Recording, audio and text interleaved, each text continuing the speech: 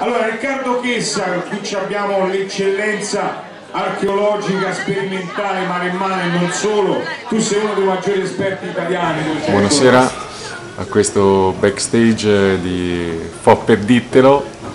È stata, io mi chiamo, scusate, mi chiamo Riccardo Chessa, sono un archeologo sperimentalista e sono stato ospite di questa serata, devo dire, molto divertente e appassionante anche dal punto di vista anche artistico, sono stati gli altri ospiti della band veramente interessanti e è stata veramente una serata che ho vissuto tutta in un fiato. Hai scoperto recentemente anche un'altra cosa, hai fatto una scoperta eccezionale per quanto riguarda un, un animale preistorico che è esistito nei nostri territori e che adesso appunto ce ne parlerà Riccardo. Questa è veramente una scoperta incredibile. Pastore tiranno maremmano Rex. Mamma mia, di più, di più. Allora niente, allora la località deve rimanere ancora un po' top secret, segreta. Perché... Questa è un'anteprima, eh, la stiamo dando adesso in esclusiva. Allora, so che adesso in, eh, credo sia stata ultimata la fase di restauro eh, la cosa straordinaria è che in un pomeriggio anche lì di, di escursione con dei bambini ospiti del nostro laboratorio eh, in un punto proprio in, che non ci aspettavamo, proprio mh, mm, impensato proprio, è uscito fuori in una scanalatura che aveva creato l'acqua, proprio un canale fatto dall'acqua, è uscito fuori una mandibola di un rinoceronte che eh, se aveva rinoceronti qui che pensa invece del cane di ritrovare un rinoceronte. No. eh? ma c'erano piccini rinoceronti rinoceronti sono quelli che ti metti ora di taglio ah, i cerottini no no allora ancora è in fase di studio però eh, intorno a questa mandibola poi successivamente con la sovrintendenza e con l'università abbiamo fatto una piccola ricerca sono uscite fuori altre ossa la cosa un po' così, un po' che ci fa... Sempre del rinoceronte? Allora, frammenti anche di rinoceronte ma di altra, altra macrofauna, si dice, altra fauna abbastanza grande, altri animali grandi che erano comunque molto probabilmente vissuti nello stesso periodo. La cosa un po' che ci ha lasciato la in bocca è che questa scoperta è uscita fuori grazie a delle persone che hanno costruito una pista da motocross quindi che è successo? Questo materiale è stato trascinato per fare i salti famosi e poi per saltare con la moto e quindi non sappiamo, dovremo scavare per capire se sotto c'è ancora un deposito di diciamo, ossa, un sito d'ossa da, da, poter indagare, da poter scavare. Ma senti quante cose sei imparato stasera. Quindi un rinoceronte, il rinoceronte mare in mano. Allora si può, si può dire eh, che qui cannucciano i rinoceronti. Ah, io dico subito. Non ci crederanno Ci sono solo piazzale Barzanti.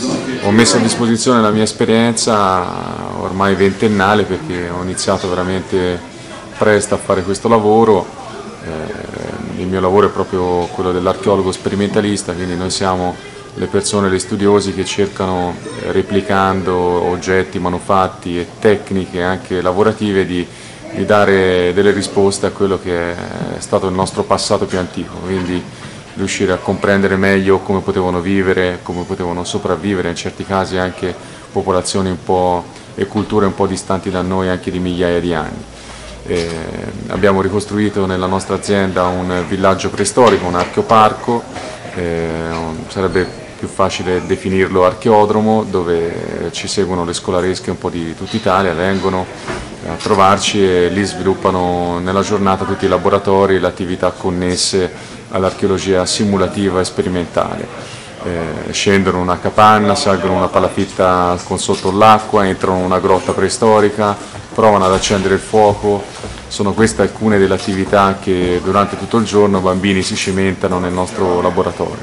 E vi invito, insomma, non voglio farmi troppa pubblicità, insomma, è una cosa più, più, più che altro anche per, per, conoscere magari qualche persona interessata a poter svolgere magari un'attività simile alla mia, che oggi come oggi diciamo, sta riscontrando un buon successo perché riesce a spettacolarizzare molto quello che è l'archeologia e soprattutto anche a dare una capacità di comprensione che mancava, soprattutto nell'ambiente un po' anche eh, leggermente anche mh, troppo scolastico, troppo anche universitario eh, sul, sul, appunto proprio sull'archeologia e anche sull'antropologia.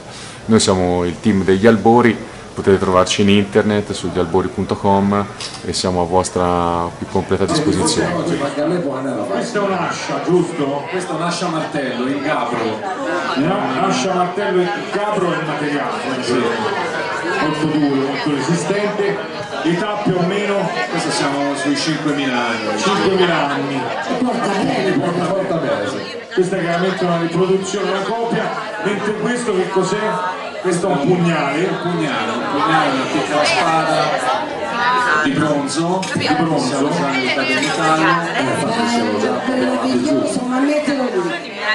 tre a poco due armi. Un po' d'anni sono passati, eh. perché questa è chiaramente una copia, però ricordo che nel laboratorio sperimentale di Riccardo Chessa a Santa Caterina di Alburi praticamente si riproducono, si rifanno anche le fusioni in bronzo, le- addirittura fa anche il vasellame in terracotta perché ci sono dei forni ricreati completamente in terra, ricostruiti e quindi con le stesse tecniche. Addirittura ha scavato, pensate, una canoa fatta con un tronco e l'ha scavata interamente con un'ascia in pietra, tipo questa, perché doveva simulare naturalmente la stessa lavorazione che ha avrebbe simulato, avrebbe realizzato in quel caso lì un uomo eh, preistorico probabilmente, non lo so, del, che periodo è, il bronzo, neolitico.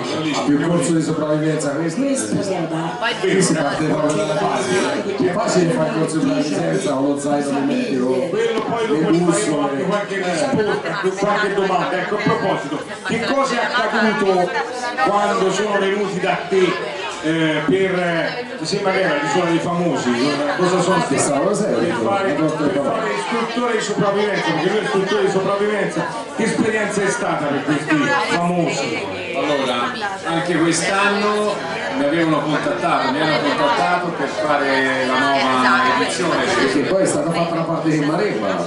Terlizzi, che è quello istruttore, l'hanno preso, ha vinto il concorso guarda Maremma. Sì, sì, Ma quelli non famosi.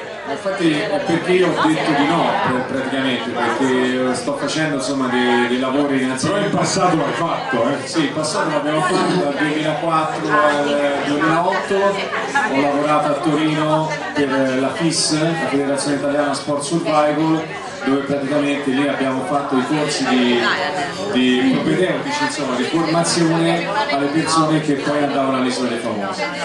Eh, ma era insomma una cosa un po' una sciocchezza, insegnare a aprire una noce di cocco perché comunque a certe persone non hanno mai visto un coltello, poteva essere comunque una cosa pericolosa.